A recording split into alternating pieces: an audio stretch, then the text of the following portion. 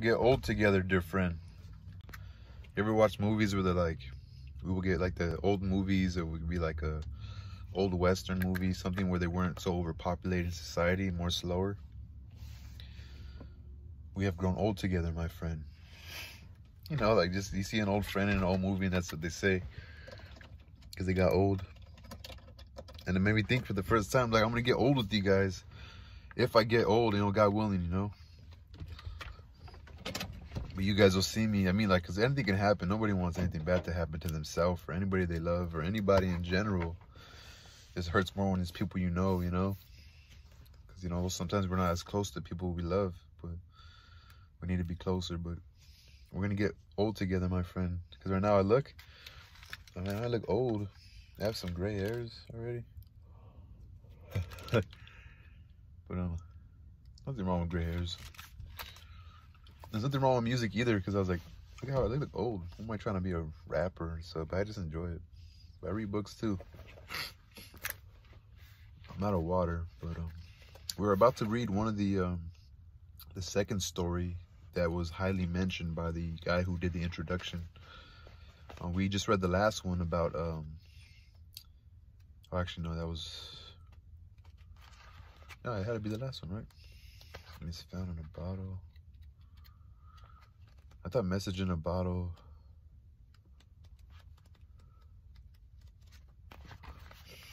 Message found in a bottle. Yeah, Ligeia, Ligeia, yeah. Ligeia. I was already on Ligeia, I don't know why.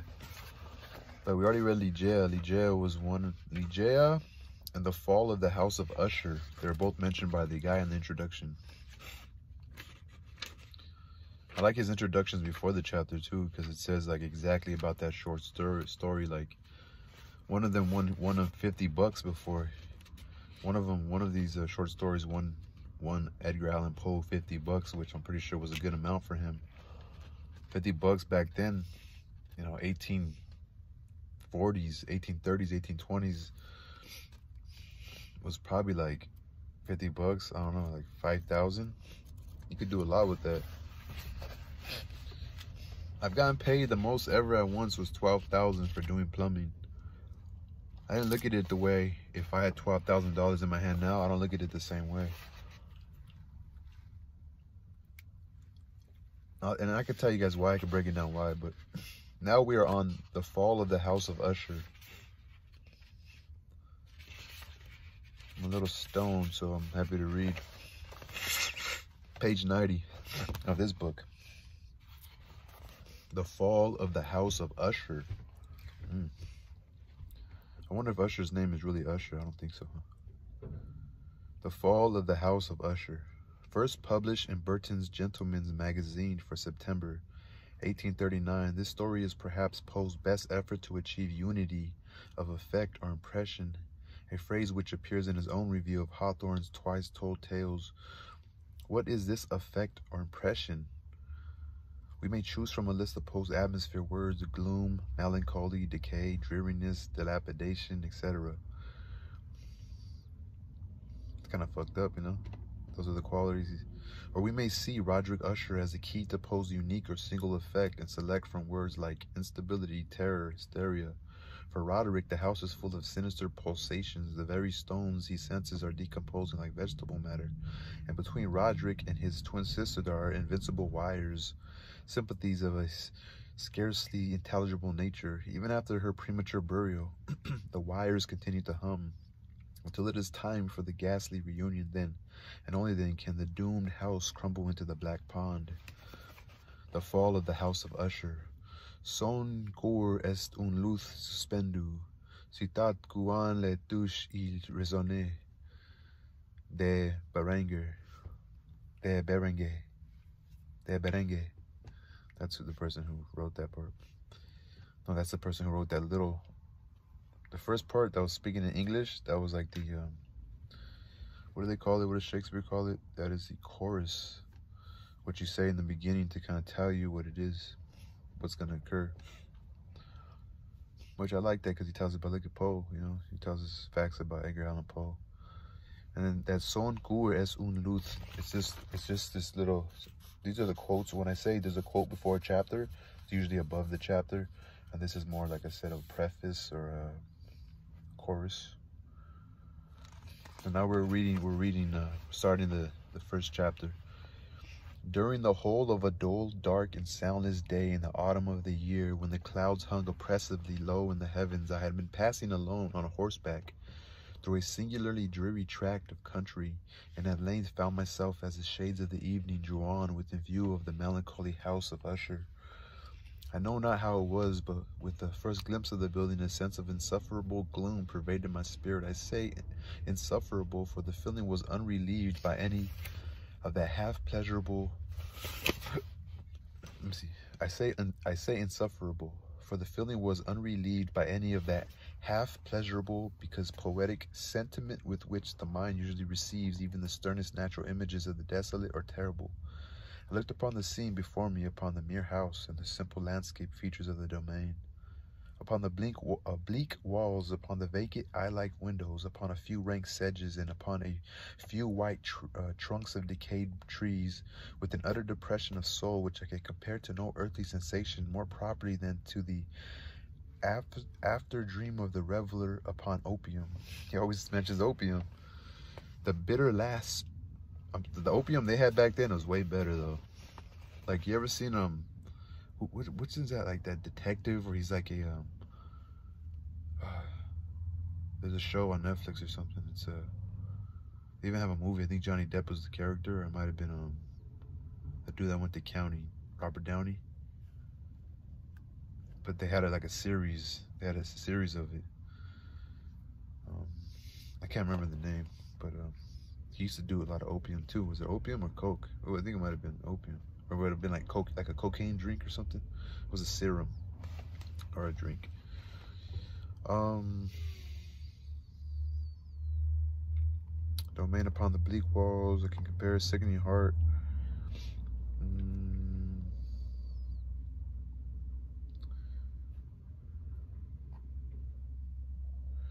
Okay, um, the okay. I can compare I can compare to no earthly sensation more properly than to the after dream of the reveler upon opium. The bitter lapse into everyday life, the hideous dropping off of the veil.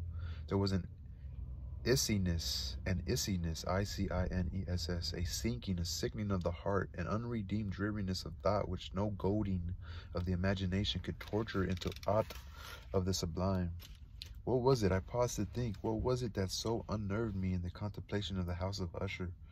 It was a mystery all so insoluble, nor could I grapple with the shadowy fancies that crowned upon me as I pondered. I was forced to fall back upon the unsatisfactory conclusion that while, beyond doubt, there are combinations of very simple natural objects which have the power of thus affecting us, still the analysis of this power lies among considerations beyond our depth. It was possible, I reflected, that a mere different arrangement of the particulars of the scene, of the details of the picture, would be sufficient to modify or perhaps to annihilate its capacity for sorrowful impression, and, acting upon this idea, I reined my horse to the precipitous brink of a black and lurid tarn that lay in unruffled luster by the dwelling, and gazed down, but with a shudder even more thrilling than before, upon the remodeled and inverted images of the gray sedge, and the ghastly tree stems, and the vacant and eye-like windows. Nevertheless, in this mansion of gloom, I now propose to myself a sojourn of some weeks. Its, pro its proprietor, Roderick Usher, had been one of my boon, B-O-O-N, companions in boyhood. But many years had elapsed since our last meeting. A letter, however, had lately reached me in a distant part of the country, a letter from him which, in its wildly inopportune nature, had admitted of no other than a personal reply. The MS, the message, gave evidence of nervous agitation. The writer spoke of acute bodily illness, of a mental disorder which oppressed him and, and of an earnest desire to see me as his best and indeed his only personal friend with the view of attempting by the cheerfulness of my society some alleviation of his malady. It was the manner in which all this and much more was said. It was the apparent heart that went with his request which allowed me no room for hesitation. I accordingly obeyed forthwith what I still considered a very singular summons. Although as boys we had been even intimate associates, yet I really knew little of my friend. His reserve had been always excessive and habitual. I was aware, however, that His very ancient family had been noted time out of mind for a peculiar sensibility of temperament, displaying itself through long ages in many works of exalted art, and manifested of late in repeated deeds of magnificent, M-U-N-I-F-I-C-E-N-T, like magnificent, but munificent, yet unobtrusive charity, as well as an impassioned devotion to the intricacies, perhaps even more than to the orthodox and easily recognizable beauties of musical science. I had learned, too, the very remarkable fact that the stem of the Usher race, all time honored as it was, had put forth at no period any enduring branch. In other words, that the entire family lay in the, in the direct line of descent, and had always, with very trifling and very temporary variations, so lain. It was this deficiency I considered while running over in thought the perfect keeping of the character of the premises with the accredited character of the people, and while speculating upon the possible influence which the one in the long lapse of centuries might have exercised upon the other, it was this deficiency perhaps of collateral issue, and the consequent undeviating transmission from sire to son of the patrimony with the name which had at length so identified the two as to merge the original title of the estate in the quaint and equivocal appellation of the House of Usher, an appellation which seemed to include in the minds of the peasantry who used it both the family and the family mansion. I have said that the sole effect of my somewhat childish experiment, that of looking down within the tarn, had been to deepen the first singular impression. There can be no doubt that the consciousness of the rapid increase of my superstition, for why should I not so term it, served mainly to accelerate the increase itself, such I have long known is the paradoxal paradoxical law of all sentiments, having terror as a basis. And it might have been for this reason only that when I again uplifted my eyes to the house itself from its image in the pool, there grew in my mind a strange fancy, a fancy so ridiculous indeed that I but mention it to show the vivid force of the sensations which oppressed me. I had so worked up I had so worked upon my imagination as really to believe that about the whole mansion and domain there hung an atmosphere peculiar to themselves and, and their immediate vicinity, an atmosphere which had no affinity with the air of heaven, but which had reeked up from the decayed trees and the gray wall and the silent tarn, a pestilent and mystic vapor, dull, sluggish, faintly discernible, and leaden-hued. Shaking off from my spirit what must have been a dream, I scanned more narrowly the real aspect of the building, its principal features seemed to be that of an excessive antiquity. The discoloration of ages had been great. Minute fungi overspread the whole exterior, hanging in a fine tangled webwork from the from the eaves. Yet all this was apart from any extraordinary dilapidation. No portion of the masonry had fallen, and three appeared to be Oh, and there appeared to be a wild inconsistency between its still perfect adaptation of parts and the crumbling condition of the individual stones. In this there was much that remained me of the, spe specious totality of old woodwork which has rotted for long years in some neglected vault with no disturbance from the breath of the external air. Beyond this indication of extensive decay, however, the fabric gave little token of instability. Perhaps the eye of a scrutinizing observer might have discovered a barely perceptible fissure, F-I-S-S-U-R-E, which extending from the roof of the building in front made its way down the wall in a zigzag direction until it became lost in the sullen waters of the Tarn. Is it Tarn? It sounds like torn. Maybe he's talking about like the kind of um. He's, he's describing the. He's using Tarn as a word to describe what's happening to the house. It's like becoming Tarn. I, I looked it up. T A R N. Tarn. I'm just kind of guessing right there. And then there was another word. Uh, uh, Fissure, F-I-S-S-U-R-E, F-I-S-S, because these are words that I've heard before. Not tarn, but fissure, F-I-S-S-U-R-E. Noticing these things, I rode over a short causeway to the house. A servant in waiting took my horse, and I entered the Gothic archway of the hall. A valet of stealthy step thence conducted me in silence through many dark and intricate passages in my progress to the studio of his master. Much that I encountered on the way contributed, I know not how, to heighten the vague sentiments of which I have already spoken, while the objects around me, while the carvings of the ceilings, the somber tapestries of the walls, the, the ebon blackness, E-B-O-N, blackness of the floors, and the phantasmagoric arm, armorial trophies which rattled as I strode, were but matters to which, or to such as which I had been accustomed from my infancy, while I hesitated not to acknowledge how familiar all this How familiar was all this? I still wanted to find how unfamiliar were the fancies which ordinary images were stirring up. On one of these staircases, I met the physician of the family. His countenance, I thought, wore a mingled expression of low cunning and perplexity. He accosted me with trepidation and passed on. The valet now threw open a door and ushered me into the presence of his master. I'm writing down trepidation. I've been hearing that a lot in uh, Poe, Poe's work. Accosted? He accosted me? I think it's like to give somebody something. He accosted me with trepidation and passed on. The room in which I found myself was very large and lofty. The windows were long, narrow, and pointed, and at so vast a distance from the black oaken floor as to be altogether inaccessible from within. Feeble gleams of encrimsoned light made their way through the trellised panes and served to render sufficiently distinct the more prominent objects around. The eye, however, struggled in vain to reach the remoter angles of the chamber or the recesses of the vaulted and fretted ceiling. Dark draperies hung upon the walls. The general furniture was profuse, comfortless, antique, and tattered. Many books and musical instruments lay scattered about, but failed to give any vitality to the scene. I felt that I breathed an atmosphere of sorrow, an air of stern, deep, and irredeemable gloom hung over and pervaded all. Upon my entrance, Usher arose from a sofa on which he had been lying at full length and greeted me with a vivacious warmth which had much in it. I at first thought of an overdone cordiality, of the constrained effort of the ennuyé man of the world. E, and this is a italics, E-N-N-U-Y-E, with a dash on top of the last why?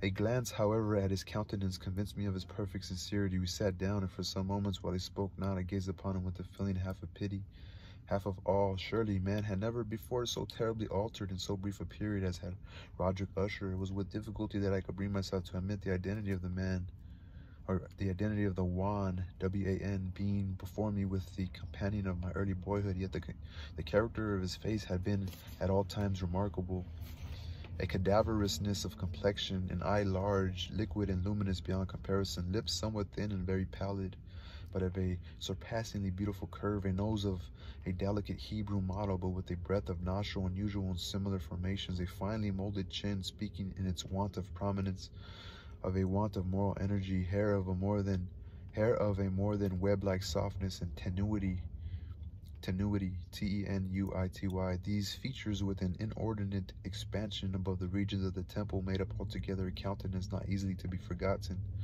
And now in the mere exaggeration of the prevailing character of these features and of the expression they were wont to convey lay so much of change that I doubted to whom I spoke. The now um, ga uh, ghastly pallor of the skin and the now miraculous luster of the eye above all things startled and even awed me. The silken hair, too, had been suffered to grow, all unheeded and, and as in its wild gossamer, G-O-S-S-A-M-E-R, texture. It floated rather than fell about the face. I could not, even with effort, connect its arabesque, A-R-A-B-S-Q-U-E, expression with an idea of simple humanity. In the manner of my friend, I was at once struck with an incoherence and inconsistency, inconsistency, and I soon found this to arise from a series of feeble and futile struggles to overcome an habitual trepidancy and, ex and, and excessive nervous agitation. For something of this nature I had indeed been prepared, no less by his, his letter than by reminiscence of certain boyish traits and by conclusions deduced from his peculiar physical his peculiar physical conformation and temperament. His action was alternately vivacious and sullen. His voice varied rapidly from a tremulous indecision when the animal spirits seemed utterly in abeyance to that species of energetic concision, that abrupt, weighty, unhurried, and hollow-sounding enunciation, that leaden, self-balanced, and perfectly modulated guttural utterance which may be observed in the lost drunkard or the irreclaimable eater of opium during the periods of his most intense excitement. It was thus that he spoke of the object of my visit, of his earnest desire to see me, and of the solace he expected me to afford him. He entered at some length into what he conceived to be the nature of his nature of his malady, it was, he said, a constitutional and a family evil, and one for which he despaired to find a remedy, a mere nervous affection, he immediately added, which would undoubtedly soon pass off. It displayed itself in a host of unnatural sensations. Some of these, as he detailed them, interested and bewildered me, although perhaps the terms and the general manner of their narration had their weight. He suffered much from a morbid acuteness of the senses. The, more the most insipid food was alone endurable. He could wear only garments of certain texture. The odors of all flowers were oppressive. His eyes were tortured by even a faint light, and there were but peculiar sounds, and these from stringed instruments which did not inspire him with horror. To an anomalous species of terror, I found him a, a bounden slave. I shall perish, said he. I must perish in this, this I must perish in this deplorable folly. Thus, thus and not otherwise shall I be lost. I dread the events of the future, not in themselves, but in the results. I shudder at the thought of any, even the most trivial incident which may operate upon this intolerable agitation of soul. I have indeed no abhorrence of danger except in its absolute effect and terror. And this unnerved, and this pitiable condition, I feel that the period will sooner or later arrive when I must abandon life and reason together in some struggle with the grim fant- fantasism, fear. I learned, moreover, at intervals and through broken and equivocal hints, another singular feature of his mental condition. He was enchained by certain superstitious impressions in regard to the dwelling which he um, tenanted and whence for many years he had never ventured forth in regard to an influence whose superstitious force was conveyed in terms too too shadowy here to be restated an influence which some peculiarities in the mere form and substance of his family mansion had by dint of long sufferance he said obtained over his spirit an effect which the physique of the gray walls and turrets and of the dim tarn into which they all looked down had at length brought brought about upon the morale of his existence. He admitted, however, although with hesitation, that much of the peculiar gloom which thus afflicted him could be traced to a more natural and far more palpable origin, to the severe and long-continued illness, indeed to the evidently approaching dissolution of a tenderly beloved sister his sole companion for long years, his last and only relative on earth. Her decease, he said with a bitterness which I can never forget, would would leave him, him the hopeless and the frail, the last of the ancient race of the ushers. While he spoke, the lady Madeline for so was she called, passed through a remote portion of the apartment, and without having noticed my presence, disappeared. I regarded her with an utter astonishment, not unmingled with dread, and yet I found it impossible to account for such feelings. A sensation of stupor oppressed me as my eyes followed her retreating steps. When a door at length closed upon her, my glance sought instinctively and eagerly the countenance of the brother, but he had buried his face in his hands, and I could only perceive that a far more than ordinary wanness had overspread the emaciated fingers through which trickled many passionate tears. The disease, the disease of Lady Madeline had long baffled the skill of her physicians. A settled apathy, a gradual wasting away of the person, and frequent, although transient, affections of a partially, partially cataleptical character were the unusual diagnosis. Hitherto she had steadily borne up against the pressure of her malady and had not betaken herself finally to bed, but on the closing in of the evening of my arrival at the house, she succumbed, as a brother told me at night with inexpressible agitation, to the prostrating power of the destroyer, and I learned that the glimpse I had obtained of her person would thus probably be the last I should obtain, that the lady, at least while living, would be seen by me no more. For several days ensuing, her name was unmentioned by either Usher or myself, and during this period I was busied in earnest endeavors to alleviate the melancholy of my friend. We painted and read together, or I listened as if in a dream to the wild improvisations of his speaking guitar, and thus, as a closer and still closer intimacy admitted me more unreservedly into the recesses of his spirit, the more bitterly did I perceive the futility of all attempt at cheering a mind from which darkness, as if an inherent positive quality, poured forth upon all objects of the moral and physical universe in one unceasing radiation of gloom. I shall ever bear about me a memory of the the many solemn hours I thus spent alone with the master of the house of Usher. Yet I should fail in any attempt to convey an idea of the exact character of the studies or of the occupations in which he involved me or led me the way. An excited and highly distempered ide um, ideality threw a sulphurous luster over all. His long improvised dirges will ring forever in my ears. Among other things, I hold painfully in my mind a certain singular perversion and amplification of the wild air of the last waltz of Von Weber from the paintings over which his elaborate fancy brooded, and which grew touch by touch into vagueness at which I shuddered the more thrillingly because I shudder knowing not why. From these paintings, vivid as their images now are before me, I would in vain endeavor to educe more than a small portion which lie within the compass of merely written words by the utter simplicity, by the nakedness of his designs, he arrested and overawed attention. But by the utter simplicity, by the nakedness of his designs, he arrested and overawed attention. If ever mortal painted an idea, that mortal was Roderick Usher, for me at least, and the circumstances then surrounding me. There arose out of the pure abstractions which the hypochondriac contrived to throw upon his canvas an intensity of intolerable awe, no shadow which I which I felt I ever yet in the contemplation of the certainty glowing yet to concrete reveries of Fuseli. For me, at least, in the circumstances then surrounding me, there arose out of the pure abstractions which the hypochondriac contrived to throw upon his canvas an intensity of intolerable awe, no shadow of which felt I ever yet in the contemplation of the certainly glowing yet too concrete reveries of Fuseli, F-U-S-E-L-I. Maybe he's like some sort of a poet or something. One of the, one of the phantaz, one of the Fanta, one of the phantasmagoric conceptions of my friend, partaking not so rigidly of the spirit of abstraction, may be shadowed forth, although feebly in words. A small picture presented the interior of an immensely long and rectangular vault or tunnel, with low walls, smooth white and without interruption or device. Certain accessory points of the design served well to convey the idea that this excavation lay at an exceeding depth below the surface of the earth. No outlet was observed in any portion of its vast extent, and no torch or other artificial source of light was discernible, yet a flood of intense rays rolled throughout and bathed the whole in a ghastly and inappropriate splendor. I have just spoken of the morbid condition of the uh, auditory. I have just spoken of the morbid condition of the auditory nerve which rendered all the music intolerable to the sufferer with the exception of certain effects of string instruments. It was perhaps the narrow limits to which he thus confined himself upon the, the guitar which gave birth in great measure to the fantastic char character of his performances, but the fervid facility of his of his impromptu, but the fervid facility of his impromptus could not be account so accounted for. They must have been and were in, in the notes as well as in the words of his wild fantasies. Fantasias.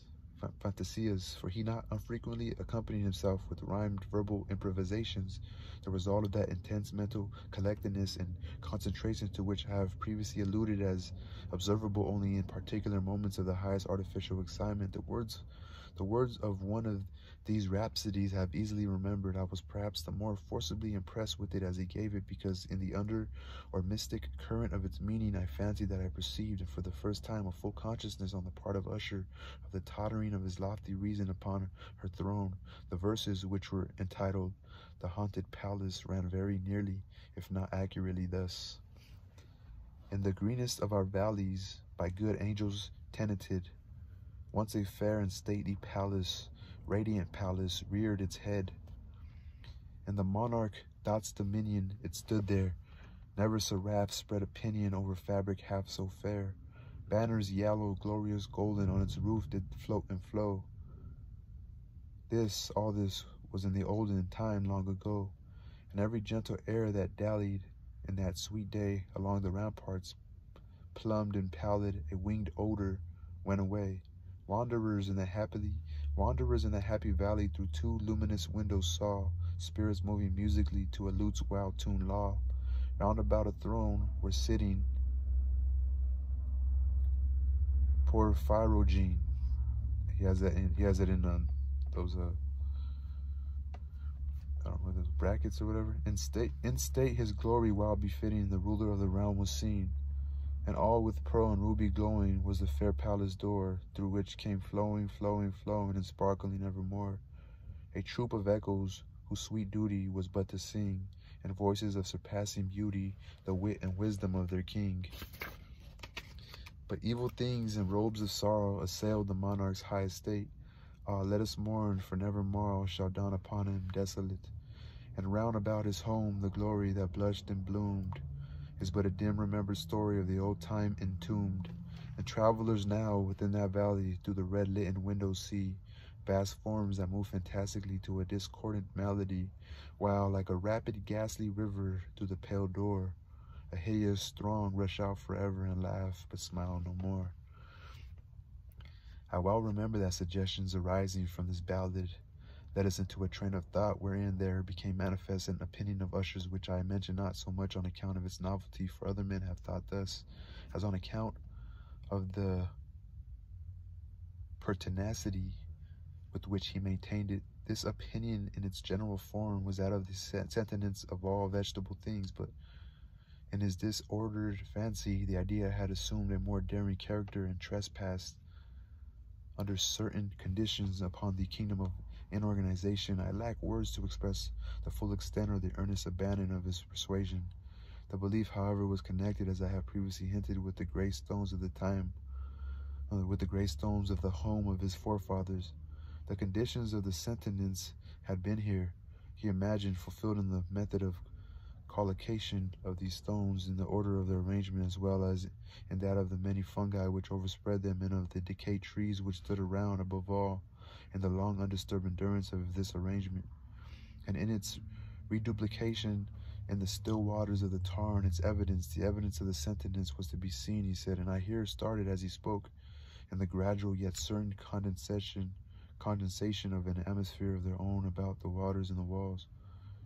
The result was discoverable, he added, in that silent yet inopportune and terrible influence which for centuries had molded the destinies of his family and which made him what I now saw him and what he was. Such opinions need no comment, and I will make none. Our books, the books which for years had formed no small portion of the mental existence of the invalid, were, as might be supposed, in strict keeping with this character of phantasm we poured together over such works as the Ververt, uh, the Ververt et Chartreuse of Gresset, the Belphegor Machiavelli, the Heaven and Hell of Swedenborg, the Subterranean Voyage of Nicholas Klimm of Holberg, the Chiromancy of Robert Flud and Jean de Igdigene and of De la Chambre, the Journey into the Blue Distance of Tieck, and the City of the Sun of Campanella, one favorite volume was a small octavo edition of the Directorium Inquisitorium by the Dominican Aymeric de Giron, and there were passages in Pomponius Mela about the old African satyrs and Aegipans, over which Usher would sit dreaming for hours. His chief delight, however, was found in the per usual of an exceedingly rare and curious book in quarto Gothic, the manual of a forgotten church, the Vigiles mortuorum secund, secundum chorum maguntins. I could not help thinking of the wild ritual of this work and of its probable influence upon the hypochondriac when one evening having informed me abruptly that the Lady Madeline was no more, he stated his intention of preserving a corpse for a fortnight previously to its final interment in one of the numerous vaults within the main walls of the building. The worldly reason, however, assigned for this singular proceeding was one which I did not feel at liberty to dispute. The brother had been led to his resolution, so he told me by consideration of the unusual character of the malady of the deceased, of certain obtrusive and eager inquiries on the part of her medical men, and of the remote and exposed situation of the burial ground of the family. I will not deny that when I called to mind the sinister countenance of the person whom I met upon the staircase on the day of my arrival at the house, I had no desire to oppose what I regarded as best but a harmless and by no means an unnatural precaution.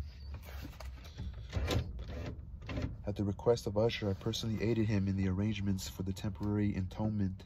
Entombment, the body having been in in coffin, we two alone bore it to its rest.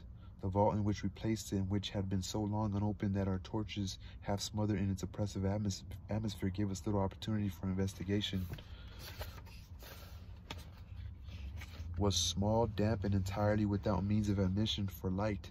Lying at great depth immediately beneath that portion of the building in which was my own sleeping apartment, it had been used apparently in remote feudal times for the worst purposes of a donjon keep and in later days as a place of deposit for powder or some other highly combustible substance as a portion of its floor in the whole interior of a long archway through which we reached it were carefully sheathed with copper. The door of massive iron had been also similarly protected. Its immense weight caused an unusually sharp grating sound as it moved upon its hinges. Having deposited, wait, I'm gonna wait. If you're following along, you know where I'm at. I'm like on the last, uh, on the second paragraph on page 114.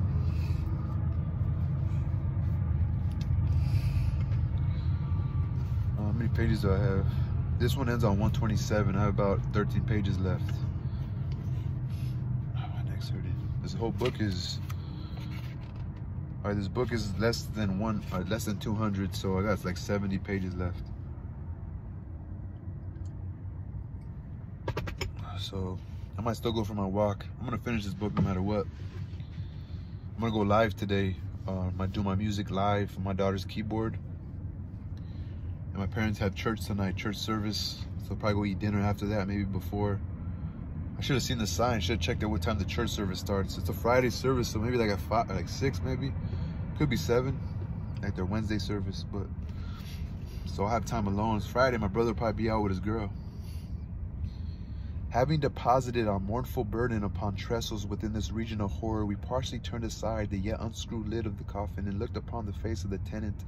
A striking similitude between the brother and sister now first arrested my attention, and Usher, divining perhaps my thoughts, murmured out some few words from which I learned that the deceased and himself had been twins, and that sympathies of a scarcely intelligible nature had always existed between them. Our glances, however, rested not long upon the dead, for we could not regard her unawed. The disease which had thus entombed the lady in the maturity of youth had left, as usual in all maladies of a strictly cataleptical character, the mockery of a faint blush upon the bosom and the face, and that suspiciously lingering smile upon the lip which is so terrible in death. We replaced and screwed down the lid, and having secured the door of iron, made our way with toil, with toil into the scarcely less gloomy apartments of the upper portion of the house. And now some days of bitter grief having elapsed, an observable change came over the features of the mental disorder. My friend, his ordinary manner had vanished.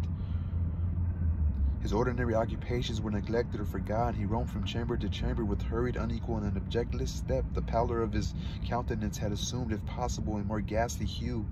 But the luminousness of his eye had utterly gone out. The once occasional huskiness of his tone was heard no more, and a tremulous quaver, as if of extreme terror, habitually characterized his utterance. There were times, indeed, when I thought his unceasingly agitated mind was laboring with some oppressive secret to divulge which he struggled for the necessary courage. At times again I was obliged to resolve all into the mere inexplicable vagaries of madness, for I beheld him gazing upon vacancy for long hours in an attitude of the profoundest attention, as if listening to some imaginary sound. It was no wonder that his condition terrified, that his that it, that it infected me. I felt creeping upon me by slow yet certain degrees the wild influences of his own fantastic yet impressive superstitions. It was especially upon retiring to bed late in the night of the seventh or eighth day after the placing of the Lady Madeline within the donjon that I experienced the full power of such feelings. Sleep came not near my couch. While the hours waned and waned away, I struggled to reason off the nervousness which had dominion over me. I endeavored to believe that much, if not all of what I felt, was due to the bewildering influence of the gloomy furniture of the room, the dark and tattered draperies which, tortured into motion by the breath of a rising tempest, swayed fitfully to and fro upon the walls and rustled uneasily about the decorations of the bed. But my efforts were fruitless. An, irres an irrepressible tremor gradually pervaded my frame, and at length there sat upon my very heart an an incubus of utterly causeless uh, alarm. Shaking this off with a gasp and a struggle, I lifted myself upon the pillows and, peering earnestly within the intense darkness of the chamber, hearkened. I know not why, except that an instinctive spirit prompted me to certain low and indefinite sounds which came through the pauses of the storm.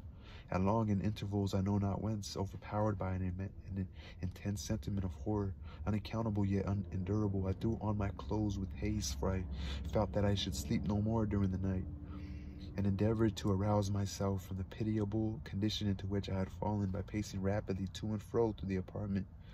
I had taken but few turns in this manner when a light step on an adjoining staircase arrested my attention. I presently recognized it as that of Usher, and an instant afterward he rapped with a gentle touch at my door, and entered bearing a lamp. His countenance was as usual cadaverously uh, wan, W-A-N. But moreover, there was a species of mad hilarity in his eyes, and evidently restrained hysteria in his whole demeanor. His air appalled me, but anything was preferable to the solitude which I had so long endured, and I even welcomed his presence as a relief. And you have not seen it, he said abruptly after having stared about him for some moments in a silence. You have not then seen it, but stay, you shall. Thus speaking, and having carefully shaded his lamp, he hurried to one of the casements and threw it freely open to the storm. The, the impetuous fury of the entering impetuous the impetuous fury of the entering gusts nearly lifted us from our feet. It was indeed a temp, tempet it, it was it was indeed a tempestuous yet sternly beautiful night, and one wildly singular in its terror and its beauty. A whirlwind had apparently collected its force in our vicinity, for there were frequent and violent alterations in the direction of the wind, and the exceeding density of the clouds, which hung so low as to press upon the turrets of the house, did not prevent our perceiving the lifelike velocity which with which they flew careering from all points against each other without passing away into the distance. I say that even their exceeding density did not prevent our perceiving this, yet we had no glimpse of the moon or stars, nor was there any flashing forth of the lightning. But the under surfaces of the huge masses of agitated vapor, as well as all terrestrial objects immediately around us, were glowing in the unnatural light of a faintly luminous and distinctly visible gaseous exhalation, exhalation which hung about and enshrouded the mansion. You must not, you shall not behold this, said I, shuddering to Usher as I led him with a gentle violence from the window to a seat. These appearances which bewilder you are merely electrical phenomena, not uncommon, or maybe that they have their ghastly origin in the rank miasma of the tarn. Let us close this casement. The air is chilling and dangerous to your frame. Here is one of your favorite romances. I will read and you shall listen, and so we will pass away this terrible night together. The antique volume which I had taken up was the Mad Tryst of Sir Launcelot Canning, but I had called it, it but I had called it a favorite of Usher's more in sad jest than in earnest. For in truth there is little in its uncouth and unimaginative, unimaginative pro prolixity, prolixity which could have had interest for the lofty and spiritual ideality, the ideality, ide, ideality, ideality of my friend. It was, however, the only book immediately at hand, and I indulged a vague hope that the excitement which now agitated the hypochondriac might find relief for the history of mental disorders full of similar anomalies. Even in the extremeness of the folly which I should read, could I have judged, indeed, by the wild, overstrained air of vivacity with which he hearkened, or apparently hearkened to the words of the tale, I might well have congratulated myself upon the success of my design. I had arrived at, at that well-known portion of the story where Ethelred, the hero of the tryst, having sought in vain for peaceable admission into the dwelling of the hermit, proceeds to make good an good an entrance by force. Here it will be remembered the words of the narrative run thus. And Ethelred, who was by nature of a of a doughty heart, and who was now mighty withal on account of the powerfulness of the wine which he had drunken, waited no longer to hold parley with the hermit, who, in sooth, was of an obstinate maliceful turn, but feeling the rain upon his shoulders and fearing the rising of the tempest, uplifted his mace outright and with blows made quickly room into the plankings of the door for his gauntleted, his gauntleted hand, and now pulling therewith sturdily, he so cracked and ripped and tore all asunder that the noise of the dry and hollow sounding wood alarmed and reverberated throughout the forest. At the termination of this sentence, I started and for a moment paused, for it appeared to me, although I at once concluded that my excited fancy had deceived me, it appeared to me that from some very remote portion of the mansion, there came indistinctly to my ears what might have been, in, in its exact similarity of character, the echo, but a stifled and dull uncertainty of the very cracking and ripping sound which Sir Launcelot had so particularly described. It was beyond doubt the coincidence alone which had arrested my attention, for amid the rattling of the sashes of the casements and the ordinary commingled noises of the still increasing storm, the sound in itself had nothing, surely, which should have interested or disturbed me. I continued the story.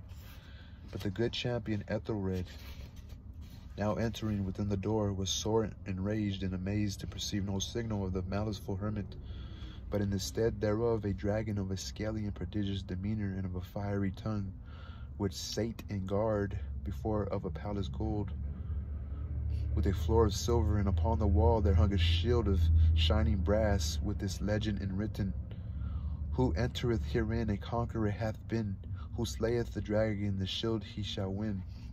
And Ethelred uplifted his mace and struck upon the head of the dragon, which fell before him and gave up his pasty breath, with a shriek so horrid and harsh, and withal so piercing that Ethelred had fain to close his ears with his hands against the dreadful noise of it, the like whereof was never before heard.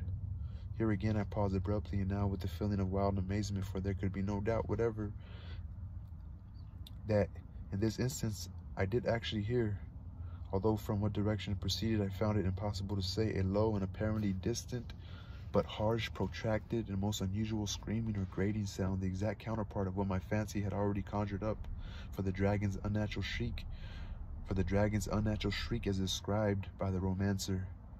Oppressed as I certainly was upon the occurrence of this second and most extraordinary coincidence, by a thousand conflicting sensations in which wonder and extreme terror were predominant, I still retained sufficient presence of mind to avoid exciting by any observation the sensitive nervousness of my companion. I was by no means certain that he had noticed the sounds in question, although assuredly a strange alteration had during the last few minutes taken place in his demeanor. From a position fronting my own, he had gradually brought round his chair so as to sit with his face to the door of the chamber and thus I could but partially perceive his features, although I saw that his lips trembled as if he were murmuring, murmuring inaudibly. His head had dropped upon his breast, yet I knew that he was not asleep from the wide and rigid opening of the eyes that caught a glance of it in profile. The motion of his body, too, was at variance with this idea, for he rocked from side to side with a gentle yet constant and uniform sway. Having rapidly taken notice of all this, I resumed the narrative of Sir Launcelot, which thus proceeded. And now, the champion having escaped from the terrible fury of the dragon, bethinking himself of the brazen shield and of the breaking up of the enchantment which was upon it, removed the carcass from out of the way before him and approached valorously over the silver pavement of the castle to where the shield was upon the wall, which in sooth which in sooth tarried not for his full coming, but fell down at his feet upon the silver floor with a mighty great and terrible ringing sound. No sooner had these syllables passed my lips than, as if a shield of brass had indeed at at the moment falling heavily upon a floor of silver, I became aware of a distinct hollow metallic and clangorous yet apparently muffled reverberation. Completely unnerved, I leaped to my feet, but the measured, rocking movement of the of, of Usher was undisturbed. I rushed to the chair in which he sat. His eyes were bent fixedly before him, and throughout his whole countenance there reigned a stony rigidity. But as I placed my hand upon his shoulder, there came a strong shudder over his whole person. A sickly smile quivered about his lips, and I saw that he spoke in a low, hurried, and gibbering murmur, as if unconscious of my presence. Bending closely over him, I at length drank in the hideous import of his words. Now hear it, yes, I hear it, and have heard it.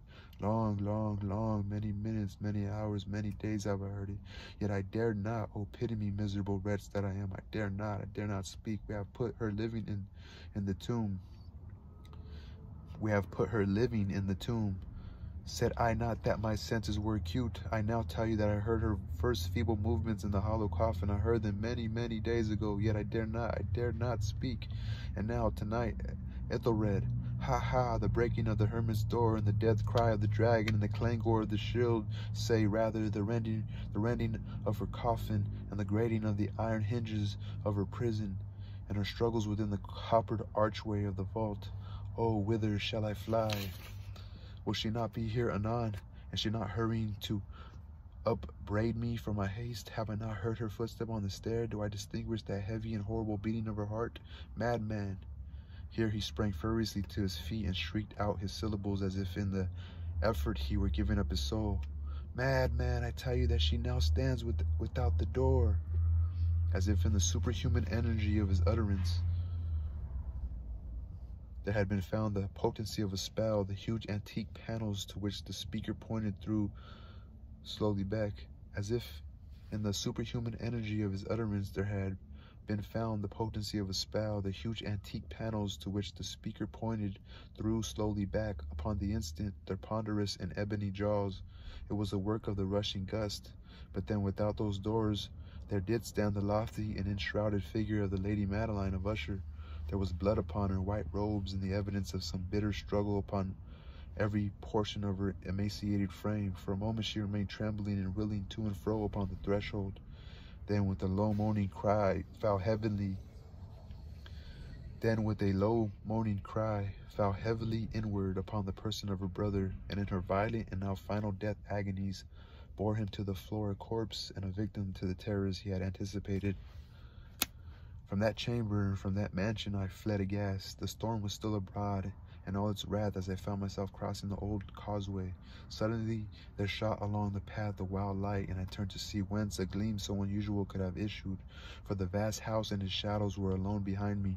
The radiance was that of the full setting and blood-red moon, which now shone vividly through that once barely discernible fissure, F-I-S-S-U-R-E, of which I have before spoken as extending from the roof of the building in a zigzag direction to the base. While I gazed, this fissure rapidly widened. There came a fierce breath of the whirlwind. The entire orb of the satellite burst at once upon my sight. My brain reeled as I saw the mighty walls rushing us under. There was a long, tumultuous shouting sound like the voice of a thousand waters, and the deep and dank tarn, tarn at my feet closed sullenly and silently over the fragments of the house of Usher. So there was just like a curse in the house of Usher. I wonder if he's talking about his house or people's homes, you know? People's homes sometimes feeling like there's no love there, you know? It's kind of like a curse, you know? People's inabilities to get along and be happy. He, he, he describes like being in the room he had to sleep in when he went to the house of Usher and feeling like a lot of these emotions came from just the dark room and, you know? It's crazy. That was a 50 minute video. What's the next one? I'm on page 128, William Wilson. How long is this one? This is long too. This is very long.